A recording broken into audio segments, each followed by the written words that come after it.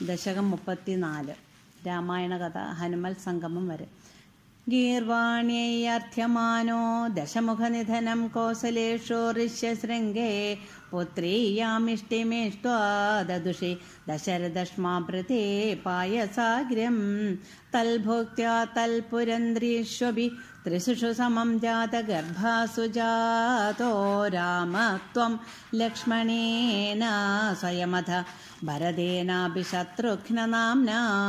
कोदण्डी कौशिकस्य क्रतुवरमविधं लक्ष्मणेनानुयातो यादो भूल्तातवाच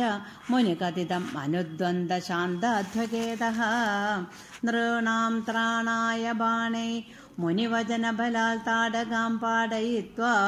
लब्ध्वास्मादस्त्रजालं मुनिवनमगमो देव सिद्धाश्रमाख्यं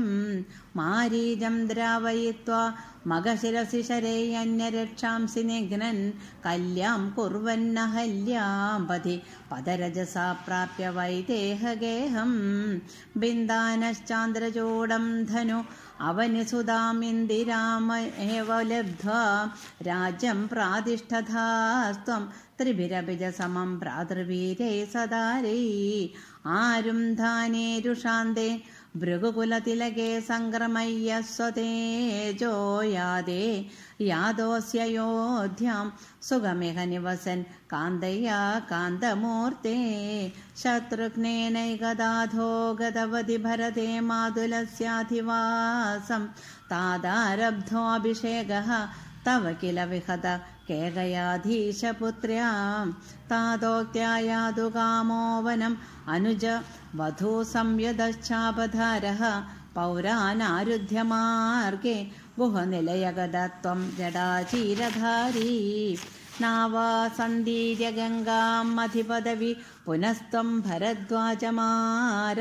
नत्वा तद्वाक्यहेतोः अधिसुगमवसच्चित्रकूटे गिरीन्द्रे श्रुत्वा पुत्रार्थिखिन्नं खलु भरतमुखात् स्वर्गयादं स्वतातं तप्तो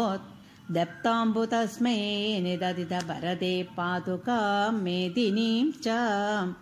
अत्रिं नत्वाध गत्वा वनमधिविपुलं दण्डकं चण्डकायं हत्वा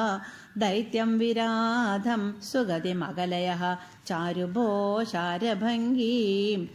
नत्वागस्त्यं समस्ता शरनिगरसप्त्राकृतिं तापसेभ्यः प्रत्यश्रौषि प्रियैषि तदनुजमुनिना वैष्णवे दिव्यचापे ब्रह्मास्त्रे चाभिदत्ते पथि पितृसुहृदं वीक्ष्य भूयो मोदाल् गोदातडान्ते परिरमसि पुरा पञ्चवट्यां वधूट्याम् प्राप्ताय शोर्पणख्या मदनजलधृते अर्थनै निस्सहात्मां तां सौमित्रो विसृज्य प्रबलतमरुषा तेन निर्लोननासां दृष्ट्वैनां रुष्टचित्तं घरमभिपतितं दूषणं चत्रुमूर्तं। व्याहिंसीयाशरानपि अयुधसमधिकां तल्क्षणादक्षतोष्मां सोदर्याम् प्रोक्तवार्ता विवश दशमुखादिष्टमारीचमाया सारङ्गं सारसाक्षा स्पृहितमनुगतः प्रावथिर्बाणघातं तन्मायाक्रन्दनिर्यापित भवदनुजां रावणस्तामहर्षील् तेनार्तोऽपि त्वमन्दः किमपि मुदम्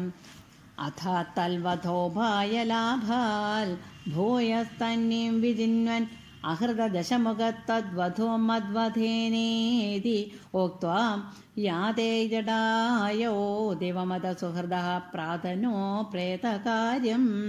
गृह्णानं तं कबन्धं जगनिद शबरीं प्रेक्ष्य पम्बातडे त्वं सम्प्राप्तो वादसूनं वृषमुदितमनाः पाहि वातालयेश। श्रीहरे